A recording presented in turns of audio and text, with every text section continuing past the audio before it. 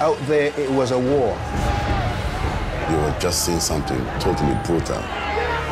I intend to make them grovel. That was a nasty series.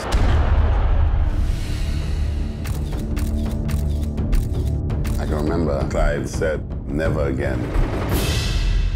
If we can find some fast bowlers, let us see how well they handle it.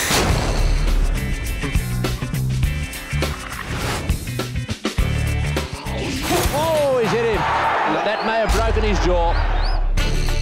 It wasn't going to take ordinary individuals to accomplish that. It's like a bullet. If there's something in front of it, you could be dead. We were called the four horsemen of the apocalypse. If you can't take the heat, get out. Our cricket spoke for us. Things were said, and the color of your skin came into it. No other team in any discipline anywhere in the world dominated their sport for 15 years. It was like slain whipping the asses of masters. It is history that you'll never forget.